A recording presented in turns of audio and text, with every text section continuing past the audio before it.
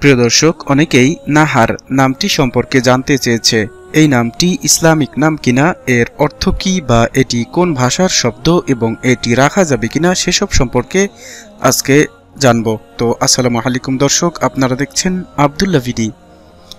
ইসলামে সুন্দর নাম রাখার ব্যাপারে বেশ তাগিদ দেয়া হয়েছে।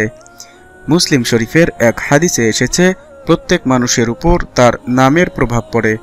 এছাড়াও আরেকটি হাদিসে পাওয়া যায় নিশ্চয়ই কেয়ামতের দিন তোমাদেরকে ডাকা হবে তোমাদের নাম ও তোমাদের পিতার নাম ধরে। তাই তোমাদের নামগুলো সুন্দর করে রাখো।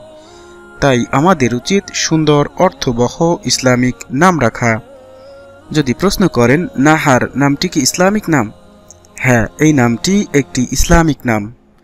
এটি সাধারণত আরবি ভাষার শব্দ কিংবা আরবি ভাষা থেকে এসেছে।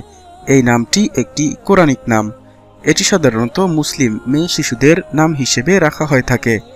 আপনাদের কারও নামের অর্থ জানতে কিংবা ভিডিও পেতে কমেন্টে নামটি লিখে সাবস্ক্রাইব করে রাখতে পারেন। নাহার নামের অর্থ হচ্ছে দিন কিংবা বেলা। নাহার নামটি এভাবেও রাখা যেতে পারে, যেমন কামরুর নাহার নাহার আফরাজ, নাহার ইয়াসমিন, নাহার মুনতাহা ইত্যাদি। নাহার নামের বন্ধুদেরকে ভিডিওটি শেয়ার করে জানিয়ে দিন। ধন্যবাদ। আসসালামু আলাইকুম আ রহমতুল্লাহ।